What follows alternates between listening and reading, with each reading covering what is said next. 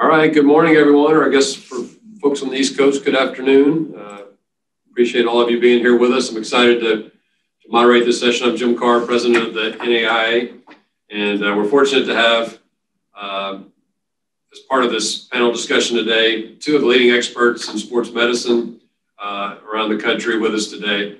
Uh, they have over four decades of experience working with athletes and programs and are now um, I'm sure they feel like on a full-time basis working with associations and conferences to try to help us figure out how to manage all things all things COVID.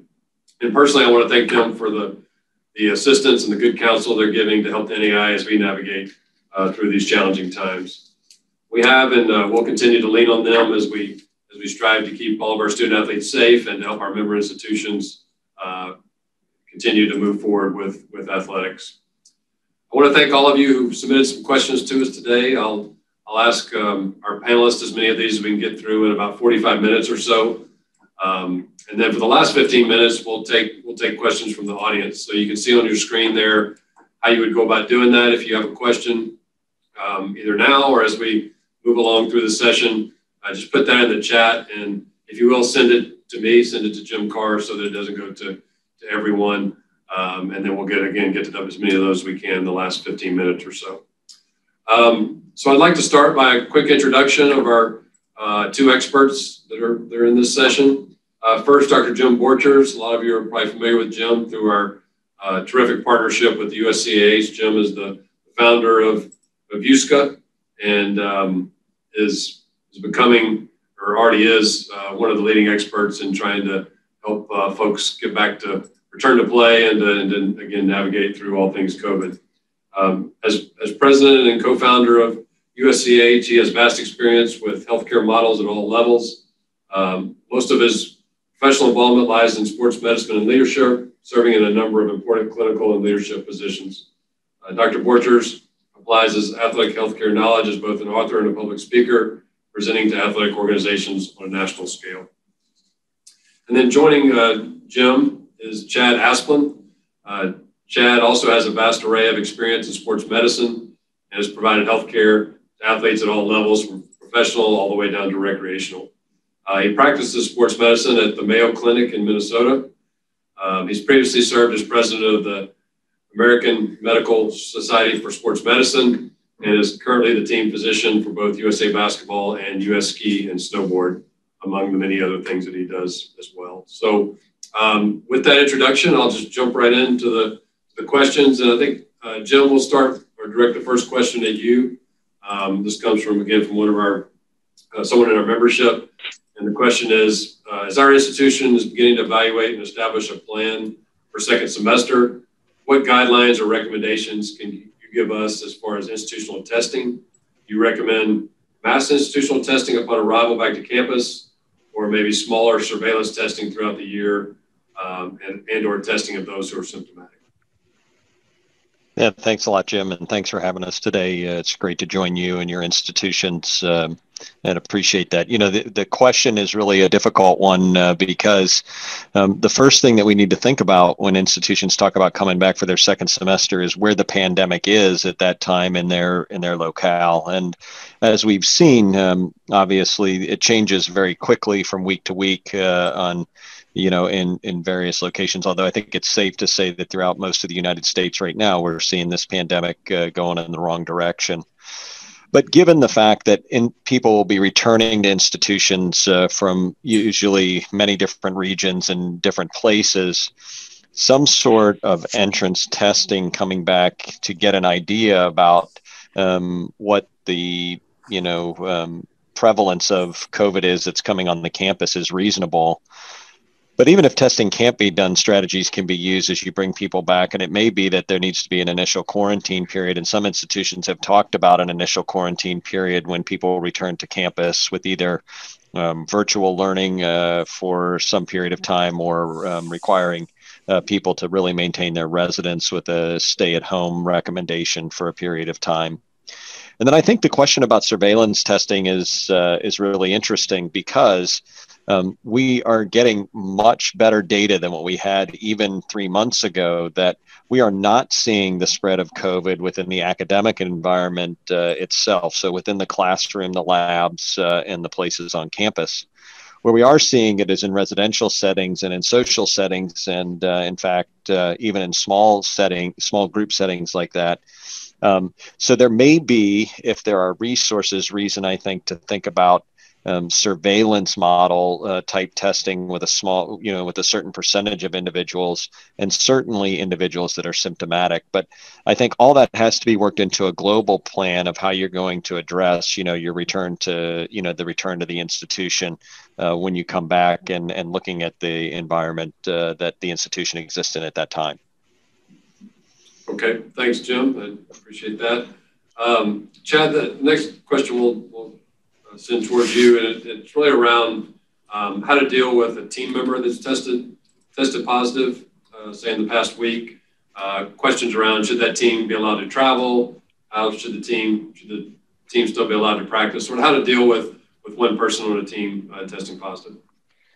So uh, when you have uh, an individual test positive, um, you know certainly that individual needs to isolate for 10 days, and then the contact tracing process needs to needs to happen. And, and depending on, on where you are and what that looks like at your institution, you know, trying to figure out how many folks can be considered close contacts with that individual going back 48 hours from you know the, the time that that person became positive then I would think that once you find your contact, your close exposures, those people would then need to be quarantined.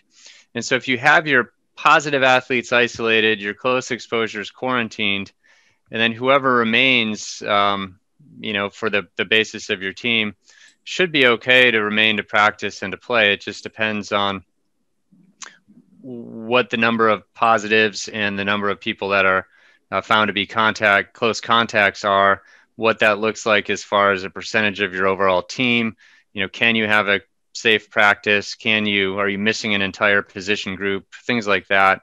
Um, but i do think you have to let the isolation and the contact tracing play out in the quarantine. And if you have athletes that are left over that don't fit into those categories so they've been you know negative or not close contacts they should be able to practice and play um, and traveling. Certainly with travel, you want to continue to make sure that you're distancing uh, when you can. You're wearing masks, you're following the usual stuff mask wearing, social distance, hand washing, um, you know, uh, other things that we would otherwise recommend for infection control. Okay, thanks, Chad. And maybe just a little bit of a, a follow up on the, you know, the concept of close contact. I know I've seen it change a little bit over time, or I've just seen it described a little bit differently. I think that maybe the most common one I've seen is either 10 or 15 minutes in close contact unmasked. Is that is that kind of still the typical definition or standard, or what are you what are you guys seeing? Uh, I'll start, and then uh, Jim Jim can add. Um, but typically, the definition is you know within six feet for 15 minutes, and that's cumulative within a 24 to 48 hour period, depending on who you're who you're listening to. So it isn't just a one-time shot and okay, now it's later in the day. I can start my my uh, 15 minutes again. It's a cumulative exposure to 15 minutes within six feet. Realistically, the studies would support that if you're masked, the amount of transmission that you could give at six feet should be less. However, in my experience, the way that public health professionals have been applying this, it's the same whether you're masked or unmasked. So within six feet, 15 minutes of exposure uh, cumulative within a 24 to 48 hour period. Jim, any any any other thoughts? No, Chad, I think you I think you're right. I think the other thing to consider is uh, there's some recommendations to Jim around uh, you know direct contact, and it's been defined loosely as you know um, being as close as to where you're hugging someone and having that kind of close contact. That being said, there is data that's emerging, and certainly that we're looking at uh, as what defines a close contact in sport itself. Um, and there's some good data coming out uh, that uh, suggests that the actual transmission in outdoor sports where there's close contact is not significant and uh, maybe much less than what we thought as we defined sports as high risk transmission. And so, in uh, just recently from England, a paper in rugby where actually individuals that were participating actually were infectious, and we did not see any um, transmission to the individuals that they were with. Um, there's been a lot of anecdotal evidence in uh, soccer and in football um, with transmission not occurring uh, in the actual event itself. I think what Chad mentioned is exactly right. The most risky behavior for these things are what happens around the events, so either around travel or meals or um, you know the the things that happen around the events and um, and so I think from that standpoint, if you're paying attention in those events and masking appropriately um, and physically distancing, uh, paying attention to those things, I think we're going to see very little transmission actually within sport activity itself. Um, uh, I think uh, I think the we know so much more about that now than we did three months ago. That it's uh, uh providing us uh, with some really good uh, thoughts on how to move this forward. All right, thanks, Jim. That that's kind of a good segue into the, the next question, which is specific to wrestling. Um, and the question is around you know with again what we know about COVID and some of the things you just described about the transmission. Um, and, and I guess part of the question too is recognizing the fact that a wrestling match is is under 15 minutes in duration. Um, do we think we can can safely wrestle both regular season and postseason in this year? Well, I think wrestling poses some unique challenges, but I do think that it can be done appropriately. I think you have to pay attention to what's going on around the wrestling events themselves, uh, making certain that training partners stay consistent so there's not a lot of uh, transmission, uh, making certain that weight classes, uh, um, you know, stay you know consistent and physically distanced so that we don't see transmission uh, amongst those folks um, again making certain um, that we're following the other regulations um, and you know they're probably in a you know again in a high risk transmission sport like that. If you are able to test if you have resources these are the sports we're testing may be helpful to prevent you know larger pop-up clusters or outbreaks there are states that are wrestling without testing uh, at the high school and at the elite uh, amateur level. Um, and again, I think there's going to be some risk there, obviously, by the nature of the sport itself. Um, but it has been managed to this point. I think we just have to be aware of the environment and what we just talked about. But I think taking those mitigating factors and, and having been involved with uh, uh, USOC regional wrestling uh, uh, this fall and uh, with uh, other wrestling groups, we have seen it done successfully. Um, and and I think you can move forward with it. It poses more challenges than you know sports where we're not having as much contact, but it can be it can be accomplished. Okay, thanks, um, Chad. And if you want to add anything to that, but a, a different question um, coming your way. Um, as I understand it, many of our athletics trainers are using uh, return to activity recommendations made by the British Journal of Sports Medicine. And part of that includes a gradual return for an athlete so that you can track increased symptoms. So the question is around if if it's an asymptomatic person who's tested positive, would this this protocol still work, or how would you how would you monitor someone who's asymptomatic as they're as they're coming back in? Thanks. That's a, a great question. Um, so the British Journal uh, return to play progression is based on a COVID positive symptomatic patient, and so it is a very well done gradual return to play protocol that could be followed for anybody. With your asymptomatic positive people, you know, we have been allowing them to do light physical activity well in isolation. Um, and so they may not need as lengthy of a return to play process, but it's still important when someone does return, whether it's from asymptomatic or symptomatic COVID, that they do have a gradual return to play. Those that are completely asymptomatic probably can do a shorter return to play process than what is laid out in the British Journal of Sports Medicine. However, it is important to do to gradually increase the, the duration and the intensity because what we really are looking for is with exercise, do these asymptomatic patients develop symptoms? And then that those may be some that need further evaluation, or they may need to go back into that symptomatic pathway if they develop symptoms in this return to play progression. So all patients returning back from or athletes returning back from COVID positive status do need a graduated return to play. The one in the British Journal is very well done, and it's it's about 17 days long, but works very well for those with symptoms. Those that are asymptomatic should go through a, a similar process, but it could be shorter. Yeah, and Chad, I, I would just add to that. Uh, I think uh, um, that we have found uh, in looking obviously at a number of patients that consider themselves asymptomatic, it's really important that they meet with their healthcare provider to understand what asymptomatic means. Unfortunately, uh, or maybe fortunately, most 18 to 25 year olds have to be really significantly symptomatic for them to consider themselves sick. And although we know things like loss of taste and smell are not uh, really prognostic of significant symptoms, as we've actually questioned athletes that have had struggles getting back to sport, they have had would we would now consider to be mild or moderate symptoms, but they themselves did not consider themselves symptomatic and said that normally they would have continued to just function and do things as they normally would have had they not known they were COVID positive. So um, we have seen some cases where um, it's difficult for those athletes to get back to uh, sport. And I would just encourage, um, you know, everyone, and I know athletic trainers are excellent at this and really, really drilling down into what the course of the illness was for their uh, for their athlete, and then making you know good decisions moving forward. And that's not to say as chad mentioned i think there's a number of athletes that in seven to ten days if they've had mild or no symptoms can probably get back to sport. Uh, but as he mentioned for those that have been symptomatic we're finding it can take longer.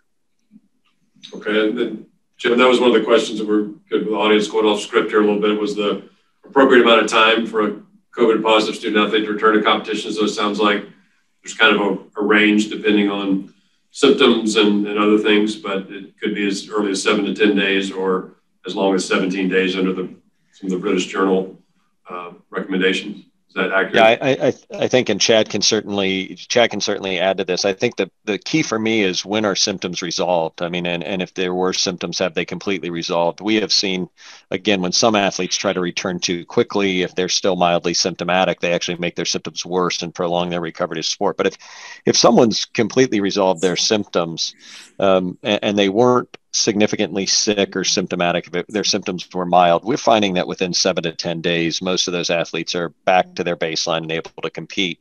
Um, and so I think a minimum time of seven days gives you uh, ample time to assess that athlete and make certain that they're ready to return, especially if they've had somewhat of a convalescent period for 10 days or so during an isolation. And I don't know, Chad, uh, your comments on that, but uh, I think that's at least the guidance that I would provide. I think one of the important things to really note is that in these young, you know, healthy, fit individuals, you know, I would say what what I've been seeing, and, and Jim can chime in on what what they've seen at Ohio State and with the Big Ten, but there's about 75 to 80 percent of people that will do well. It'll take them seven to 10 to 14 days, and they'll be back to be able to get back to sport. But there is a smaller subset of these people that are now being called long haulers, where they're really significantly symptomatic with short of breath or other symptoms. And I think it's very important to educate coaches and strength and conditioning folks that some players may not be able to go just because some piece of paper says they're supposed to be able to go at day 10.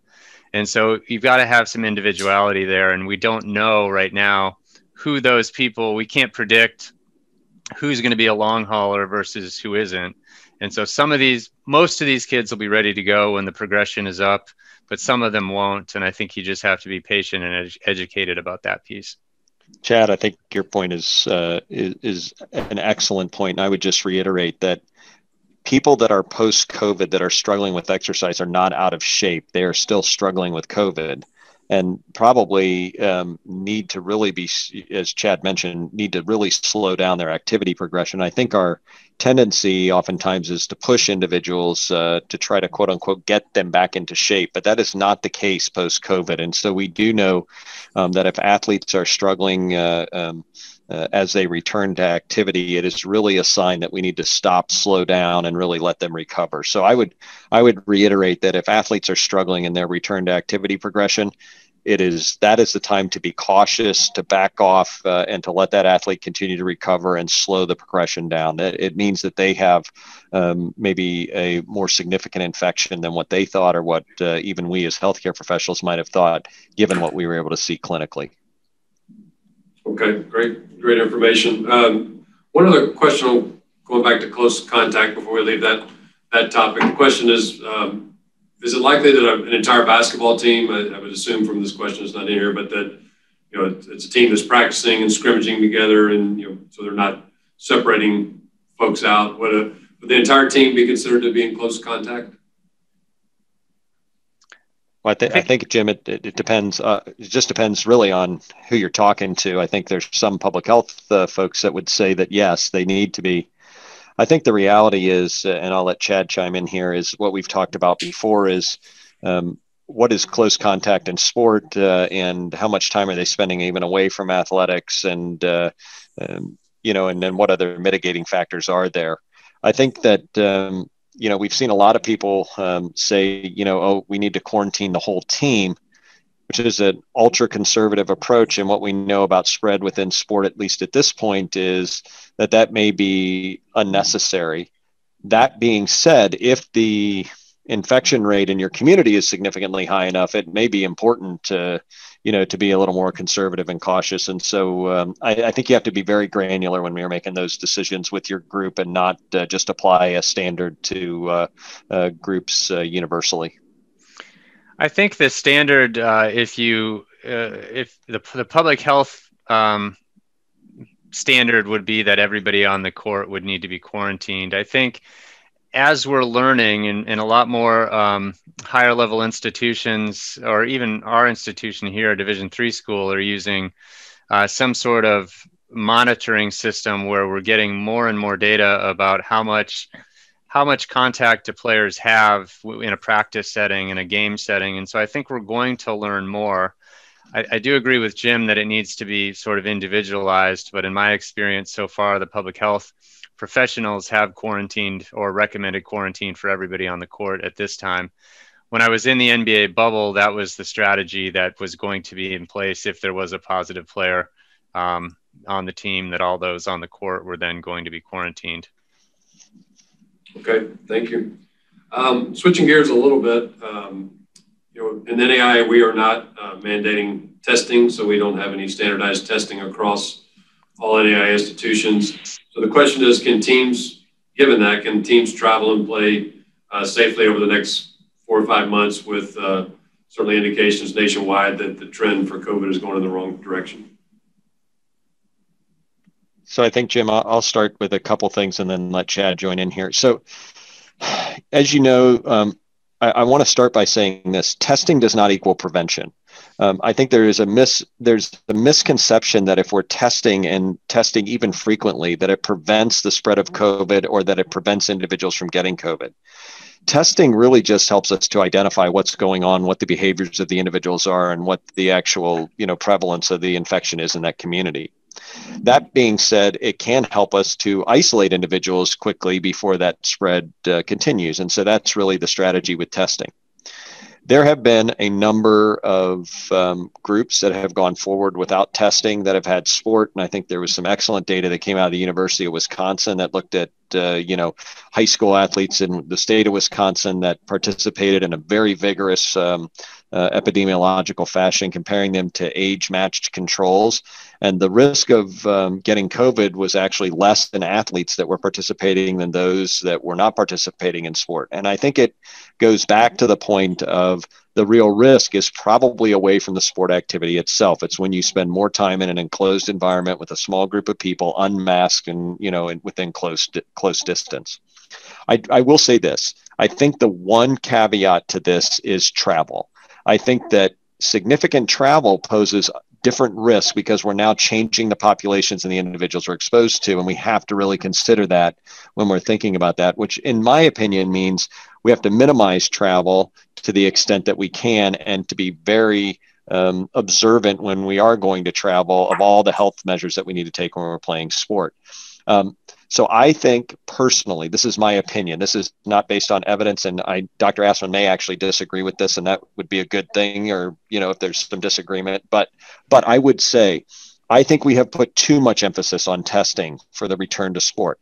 I think the emphasis should be on education of behavioral modification that will prevent the infection and making certain that we do not lose fact or sight of that fact and making certain that we don't lull ourselves to sleep by thinking that testing is the answer that allows us to play sport. I think if we put the effort into education, into mitigating factors, um, we would be just as successful, if not more successful, than we would if we spent considerable resources on testing. I absolutely agree with Jim. I mean, if you look what's going on uh, at, you know, even within the Southeastern Conference and then a lot of the bigger schools who are doing daily testing, I mean, they're still having games canceled and significant number of, of players testing positive. I think that, you know, at the at the most testing makes sport safer. I don't know that we can say it makes it safe. I think there's still a risk no matter what the testing status is and would completely agree that if we can get young people to do the hygiene basics, hand washing, wear a mask, avoid large gatherings um, indoors, you know, that's where the transmission is really happening. And so I, I think that you can have success without testing. With travel, you know, if I go back into my military experience, it's almost like you need to make travel kind of like a surgical strike where, you know, you kind of keep a clean corridor from your your small group of athletes onto your bus, you go to your venue, you play your game, you get back on your bus and you go home and there's not a lot of mingling in and amongst other people in, in areas that may have higher uh, prevalences of COVID you know you can do things with meals on the road to make them a little safer order them in, in large quantities just have them drop them off at the bus or you can have a box lunch to pick up on the bus on the way to the event. So there's a lot of things you can do that don't involve testing. Um, most of this the best things you can do for covid prevention are free so that you can't you know even schools with low resources can have people wash hands socially distance wear masks things like that so i think again i think testing gives some people a false sense of security. There is some value in testing at times, but I think that sport uh, can be played safely without testing. And Jim, just to just to quickly mention with the group in Wisconsin, and one of the things just to reiterate that point, one of the strategies that was used that was extremely successful was daily attestation to education. Was that athletes every day were being presented with those facts of what mitigated the risk of infection along with having to record their symptoms and their temperature. So they were actually having to, you know, be reminded every single day of those uh, of those measures. And I think using those strategies really helps, you know, mitigate the risk for this infection. And Joe, maybe building on that a little bit, you know, one of our questions was, um, while we're not doing mandating testing, we are mandating that our schools screen on a daily basis and report to us that they're doing that. Uh, the question basically says that sometimes seems like screening is almost going through the motions with student athletes, I guess, because they feel like they just sort of know the answers and they give them the same answers each time. Um, how do you, what do you think is the effectiveness of daily screening uh, in general? Well, I, would, I think the, oh, go, ahead. go, ahead. Chad. I'm sorry. Go ahead. I would say that that screening without education, um, you know, especially in, in the young college student population, they may just gloss through it and just click all no just because they know that they can play if they check no. But I think without the educational piece, daily screening is perhaps futile. But if athletes know why they're having these these questions asked and why they're important and why they need to answer the the questionnaire honestly and accurately, I think that really helps the the screening to be um, more valuable. And certain questions in the screening are more important than others. Um, you know, you've got your symptom screen, but then you also have questions about close contacts. Have you had some of these things that we talk about? Are you have you had a, a large group activity within the last 48 hours? Have you been unmasked? And, you know, so there are ways to do it that ex- that make it more valuable. And without an educational piece, I agree that it may be maybe a little bit futile.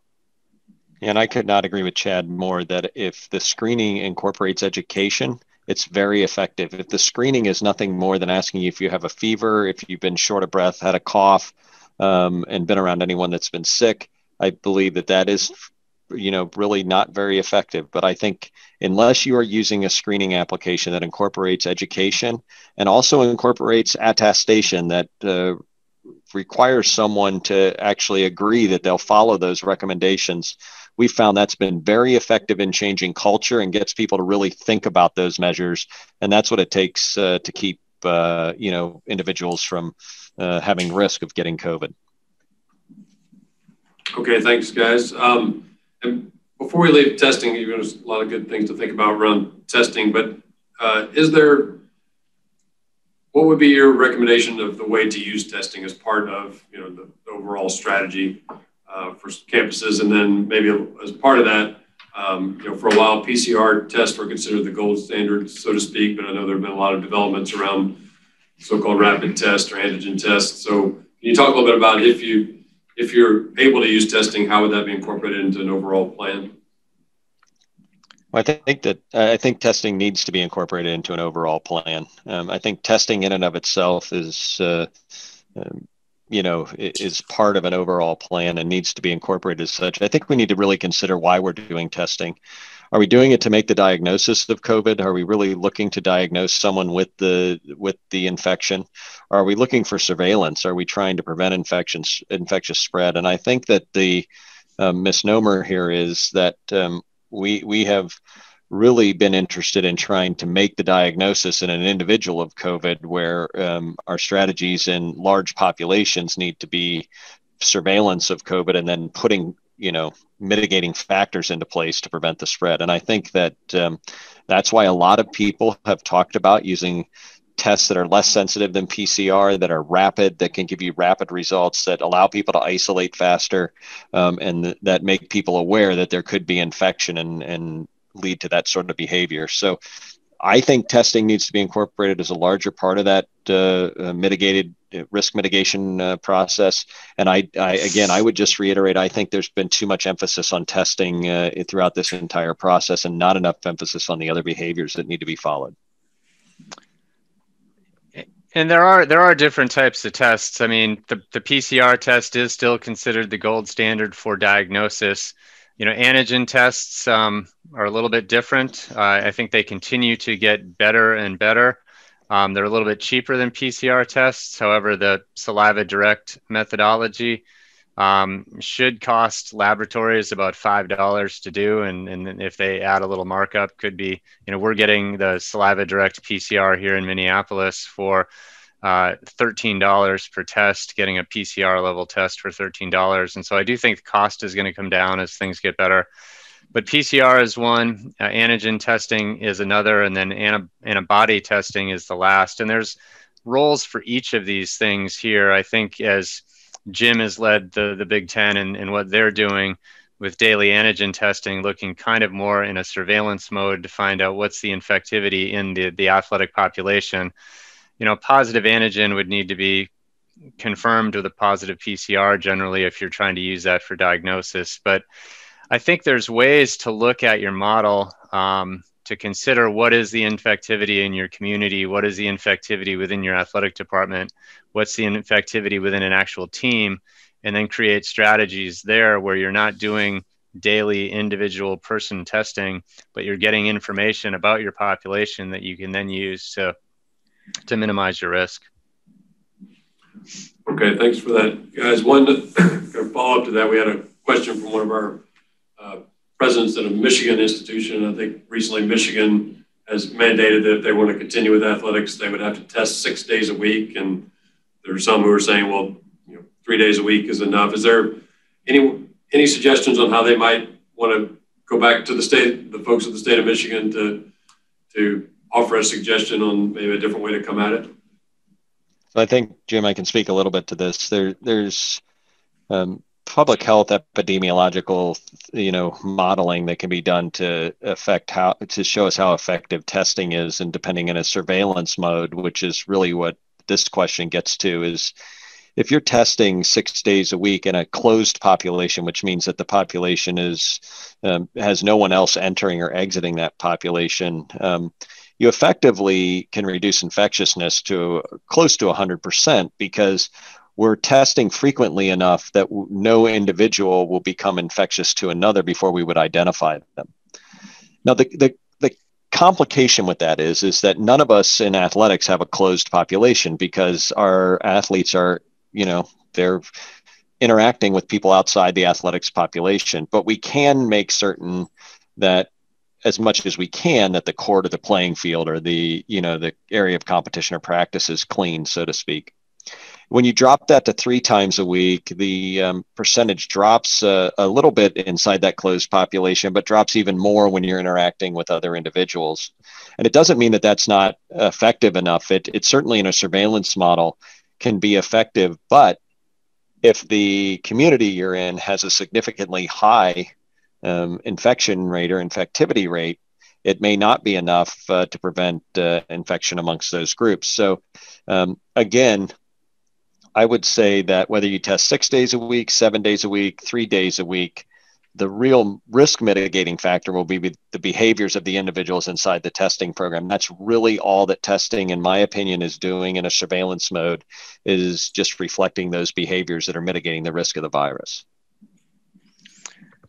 I think there was some good information out of uh, the University of Colorado that was used in the Pac 12 uh, plan, which kind of shows based on what your community prevalence is or the infectivity rate, what you could gain with testing based on daily testing every other day, that sort of thing. And so I think that modeling is out there, and I'd be happy to share that link with, with you, Jim, um, on the study that they did.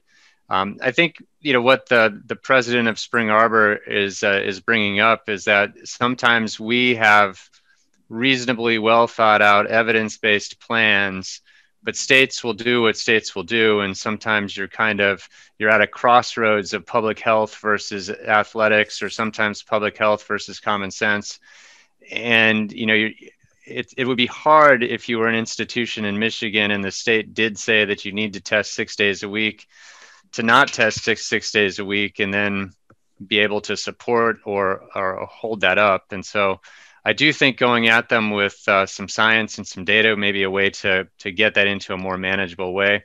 But I do think in a lot of states we're seeing, you know, severe overreaction to what they think might make things safer. Yeah, we've been saying all along that, you know, surveillance is important to know what your infectivity rate is. Do you need to do testing six days a week to get to that?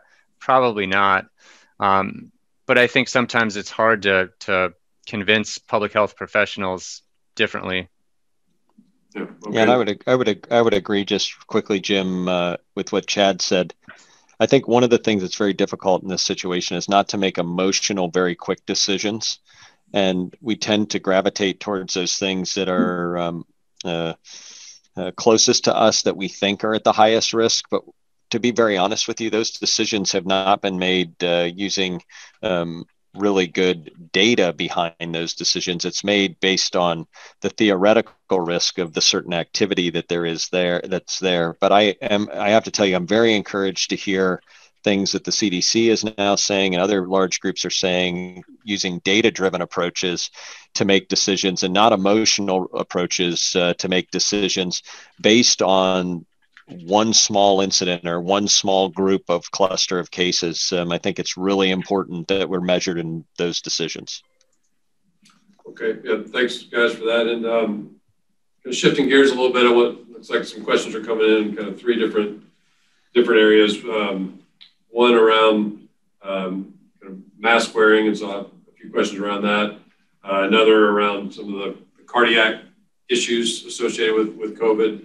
Uh, so I want to have a few questions around that. But the, maybe start with the third topic, and that is around vaccine and treatments that are becoming available. So I guess maybe just to start on the vaccine front, um, I think everybody's read the reports about Pfizer and others who are making some progress how do you guys think about the potential of a vaccine in this academic year? Let's just start there. Is there any, is it, is it realistic to think that a vaccine will help us as we think about sport through, you know, let's say through May? I think, you know, you, you, uh, you alluded to there's two or three companies that have, that are close to being ready with their vaccine. You know, they still need to complete some tests, get approval from the FDA.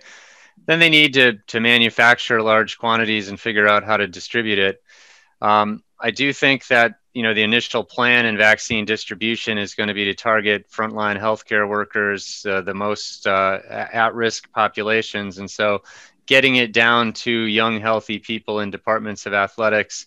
I think they're going to be in the the bottom tier of people that that get the vaccine, and so I think, you know, we should be seeing some distribution in America probably in the February timeframe. Will it get down to you know athletes by by the summer, maybe or maybe not. It depends how much distribution they have out there. The other thing is, is I think with a lot of these things, people are rushing to get things onto the market, and so we've seen that a lot with the testing, where the FDA would approve tests based on 30 samples run. The more data you have, the better. You know, we know, understand how the test works, how the vaccine works, things like that. And so the protection rate of antibodies post infection is still debated. I mean, it's still not sure how long, if you've even had a symptomatic COVID infection, how long antibodies would protect you. Likewise, that's the goal of a vaccine is to give you the same protection as you would have had from having the, the disease without having the disease. So I still think there's not that long term data on the vaccine to know is the vaccine going to be protective? Right now, I think they're looking at a two shot series spread over three weeks.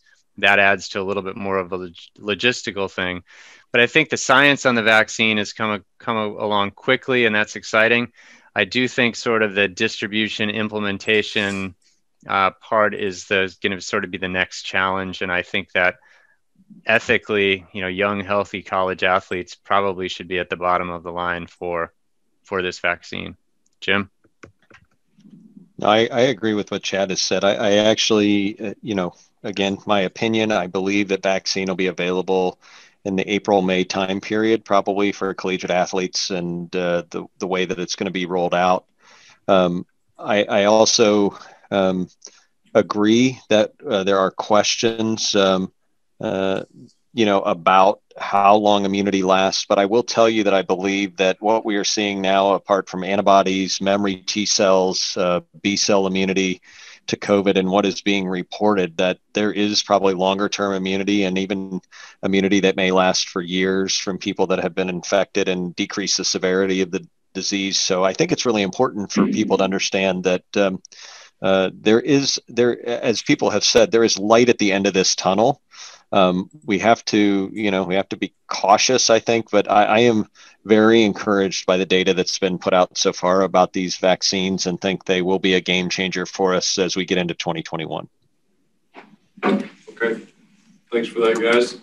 Um, so maybe turn into um, some questions around cardiac issues. And Jim, if I remember correctly, I think the, that was one of the big concerns of the Big Ten and the reasons that they were delaying the start of uh, football in particular, but I think there's fall sports.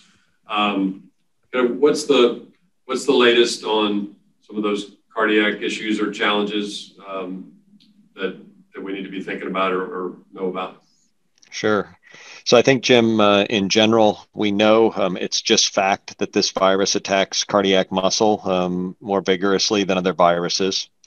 Um, it's fact that we've seen more cardiac problems, especially in sick individuals in the hospital from this. Um, what is not fact is um, knowing exactly what the effect of that is on someone who gets COVID, who's a young, healthy athlete that has mild symptoms.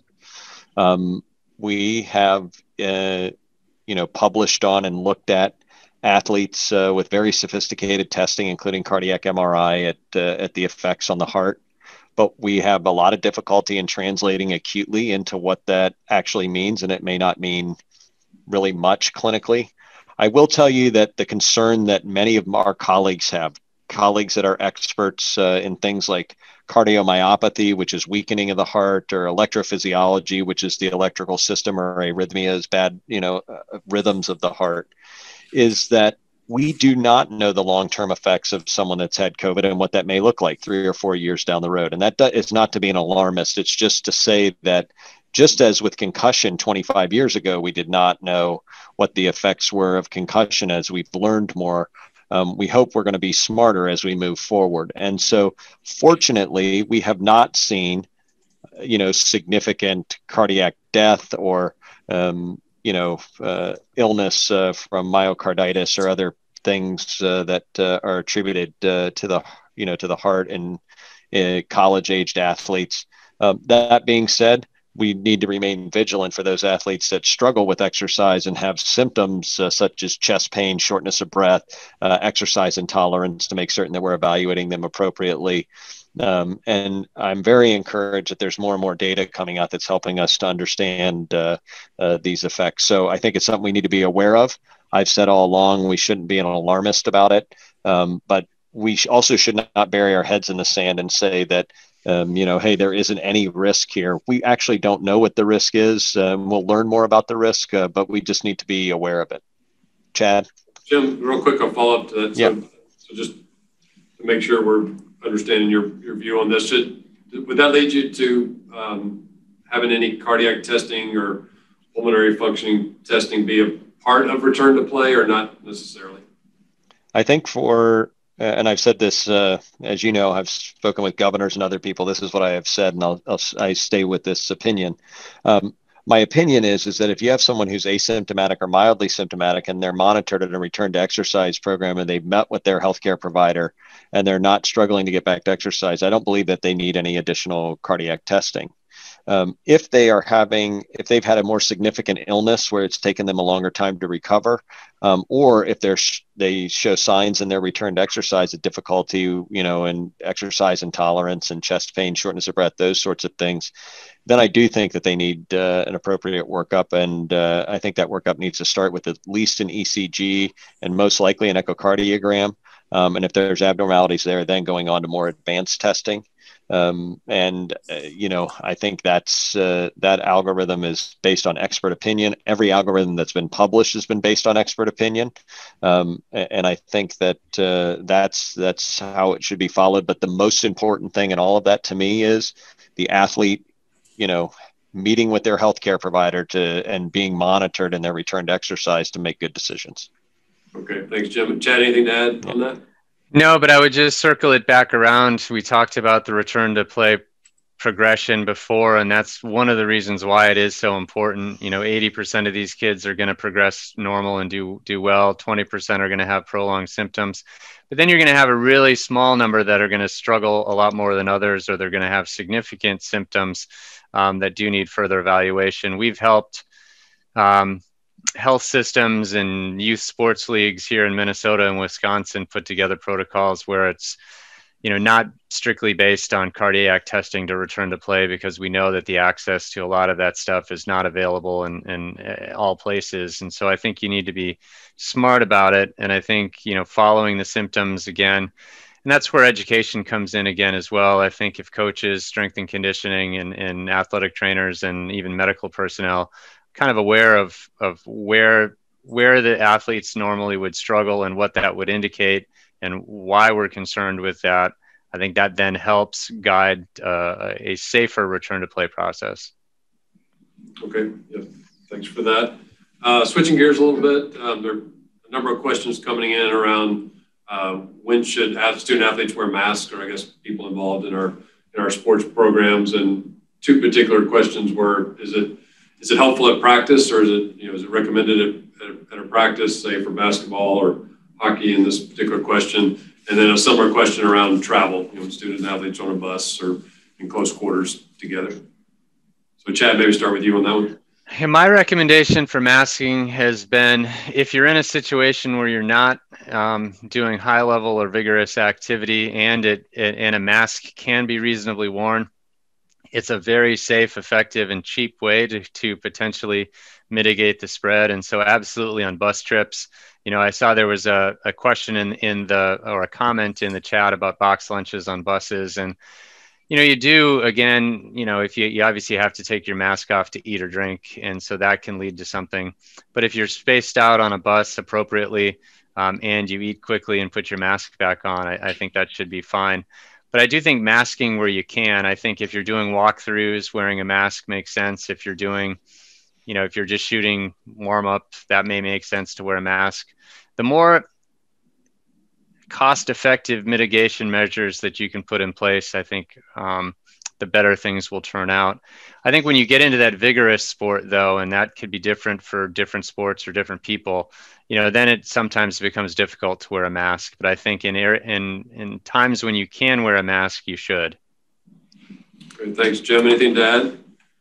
Yeah, the only thing I would add to that is uh, I, I completely agree with Chad, and the mask needs to be the appropriate type of mask. So I would rather see people wearing the appropriate masking material, not wearing face shields alone, which do nothing, um, not wearing, you know, um, thin gaiters that are not double plied at least that uh, really don't stop, you know, the transmission of the virus um, and making certain that when they can, they're wearing those. And certainly, you mentioned travel, Jim. Everybody should be masked when they travel. There's no reason not to wear a mask right now when you travel. And certainly, if you're not testing, I agree with Chad. The most, the two most cost-effective things that you can do in travel is to be appropriately physically distanced and to wear a mask. And neither of those costs that much. And so, I would agree with him completely uh, regarding those recommendations.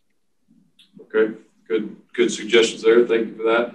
Um, one, one more thing that I would add, depending on your mode of travel and I mean, where you live in the country, but if you can create some airflow within a bus, if you can open some windows and get at least some airflow throwing the airflow through, there's been plenty of studies to show that if you have better ventilation, the risk. Uh, so we know it's an airborne disease. It's it's caused by people either coughing or you know expressing virus particles, and they tend to hang around in the air for a period of time when people are in close space, which is why if you're singing or talking, that's how it gets spread.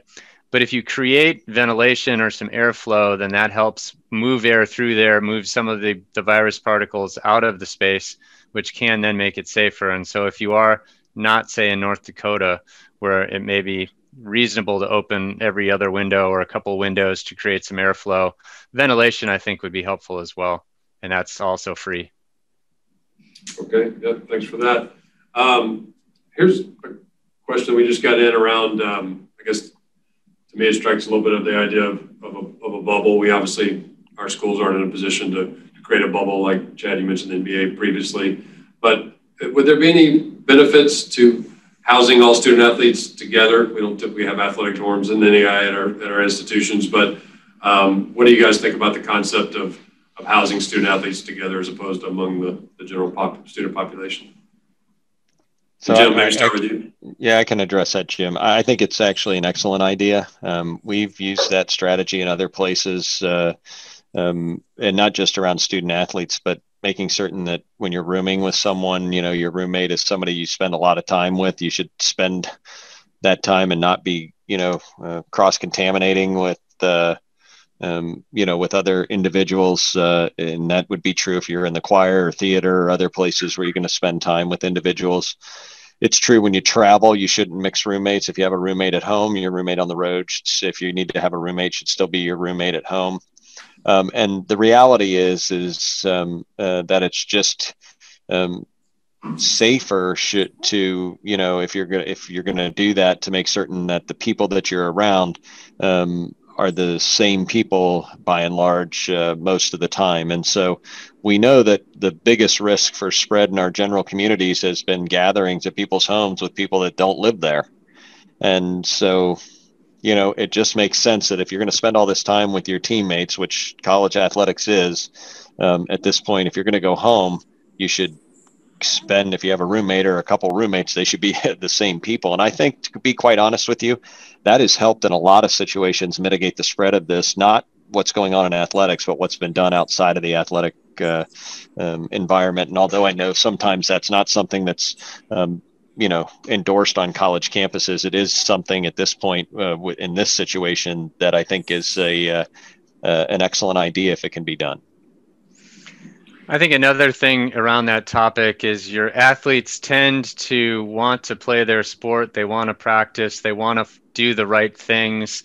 You're still going to have some that that don't, but for the most part, I think your athletes are going to want to go, you know, all in, if you will, to try to make sure that they're minimizing their risk and putting that putting athletes in that sort of environment is relatively safer than if you're in the general population and you have you know your roommate is a party animal and is out at all these events all the time and then bringing that back to your to your athlete who then introduces that to the team. And so i think some you know like behaviors that you see within athletics um, can also kind of help with that model as well okay helpful thank you um, so just a few more questions just kind of not on any particular topic but they're um, you know one that i've heard before and, and certain folks subscribe to is this this idea that the, the age and the, the relative health of student athletes is you know is, is pretty strong, and so therefore the the uh, the number of the percentage of cases that are cause hospitalization and death is very very low in that population. So the question essentially is, with with those facts, is all, are all these measures really necessary? Having uh, having advised, consulted, and taken care of uh, a fair number of really young, healthy, elite professional athletes who have gotten COVID, and it's taken them weeks to months to get back to a normal lifestyle, you know, where they can walk to the mailbox without having to stop and take a breath, and several months till they can go jog a mile when they're used to to completing world championship Ironmans. I mean, so I think it it does have more effect on the young population than people tend to think that 99.9% number makes it seem like it's exceedingly small. And it is smaller, or the, the disease consequences in young people are typically less than they would be in older people or people with other comorbidities, but but they're not zero. There ha- there have been college students who have died from COVID. There's been one uh, basketball player in North Carolina, one football player in Pennsylvania. So it does happen in this population. And then we're seeing some with significant cardiopulmonary limitations. You know, they may not have significant disease on scans or studies, but they're not back to their usual uh, frame of health. And so I, I, I do understand the, the point of the question, but I still think that, you know, there are young people do get affected as well.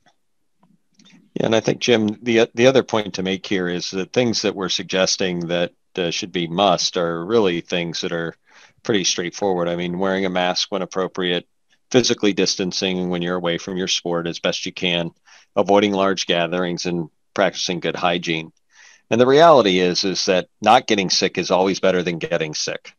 And especially with this virus, because we just don't know what the long term consequences are. And we hope obviously, and many have hypothesized that they won't be significant. Um, and we'll certainly learn more about that as we go. But to take some of these um, mitigation uh, measures, um, they are reasonable. Where I will say that I don't disagree with this idea of um, uh, the importance that sport activity plays in the lives of people that are you know this age and and have dedicated a lot of their uh, time and effort to sport is that I think it's a very emotional knee jerk reaction to say we just shouldn't have sport or we should just stop it or we should you know not let people exercise because of this risk. I actually think there's a significant amount of mental health and physical health risk uh, to doing that as well, and I think actually we should be charged with having to find a path forward to allow people to you know engage in their sport given that it's safe uh, moving forward. So from that standpoint, I agree with it, whoever has asked that question. Um, not that we should ignore the risk of COVID, but that we owe it to our athletes um, to make certain uh, that we're not sacrificing all the other um, health benefits, uh, including mental health benefits from sport, um, at the expense of just this one infection. Great, thanks. Uh, one last question, then I want to give each of you maybe 30 seconds or a minute if you had anything we didn't get to cover that, or just some closing comments. But um, you know, so far in the NAIA, it seems like most of the competition is is fairly local or regional. So we, we I think schools are trying to at this point uh, reduce the number of overnight trips. But you know, obviously in the in the Big Ten or the you know the ACC, SEC, they're farther distances, so um, you know they're doing some overnight trips. And Jim, in particular, with the with the Big Ten, anything that um, they're learning from that to keep keep their students safe when they do have longer trips? Yeah, I think there's a couple things, Jim, just to mention, uh, and Chad mentioned. Number one, it's uh, absolutely imperative that you wear a mask when you travel, um, and making certain you're masked. It's the uh, most important thing you can do. Number two is absolutely limiting interaction with people that are outside your group. And so uh, we know that the biggest risk factor for people that travel is when they interact with their parents or with their siblings or friends that travel to watch them play or that may be coming to their hotel. So we've encouraged everyone um, to limit any exposure to anyone outside their group when they travel and make the trip as short as possible. Um, and, you know, I think if you do that, um, you can be, you know, um, along with some of the things around meals and not congregating to eat meals in, in ways that have been done before, either in smaller groups where you're physically distanced or, you know, uh, sometimes even eating outdoors. But those are probably the biggest things from travel that we've learned so far. Um, and, um, uh, you know, uh, I think to Dr. Asplund's point, uh, if you can shorten the travel time period, uh, it's uh, it significantly improves your um, chances of not getting COVID. All right. Well, thanks for that, Jim. And I, we're, we're bumping up against our time, so maybe we'll leave it at that. But I do want to give um, give each of you a chance, Chad. Maybe start with you. Any just anything else in general that you think is important for the for our members to understand as as as we keep moving forward? Well, I just want to thank you for putting this on and for in, inviting us to have the opportunity to speak. I think getting out some good information and will help. I think I think a lot of the, the athletic population is lulled into this sense that you have to test in order to play. I think if we're making sure that we're educating, we're mitigating risk where we can, and we're doing the the easy and the cheap stuff, then you'll go a long way to making sports safer. I do agree with the comment that uh, many of the young people won't get sick, but I do think we owe it to athletes to do the things that we can do to make it safer, as safe as we can. And so, again, I think education is important, and I think that's where one of these pieces fits in. So, thank you for allowing us to address your membership, and um, and I look forward to. I hope I don't. I'm a glass little half less full than Jim about thinking that there'll be a vaccine on college campuses in May, but he goes to, you know, big time universities, so they'll probably find a way to make it happen. But I think once that happens and we get back into it, I'm hoping that, you know, within 2021 we can get back into more normal sports. But uh, but thanks again for having me. Yeah, thanks, Chad. Thank you for uh, you know, being a part of our our team to try to help keep our student athletes safe and our members members informed. And Jim has been on our team for a while now, and really appreciate all he's doing. Jim, we'll we'll, leave, we'll let you have the, the, final word, so to speak. Any uh, any other uh, comments or things of value for the members?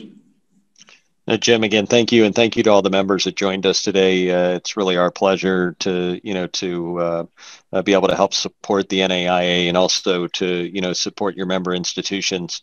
Uh, I, I just want to leave uh, with this last thought: is that sport has always been important to um, many different uh, levels of uh, competition, but also many different levels of education. And sport has also helped us to provide a way forward many times and helped educate us uh, in our way forward.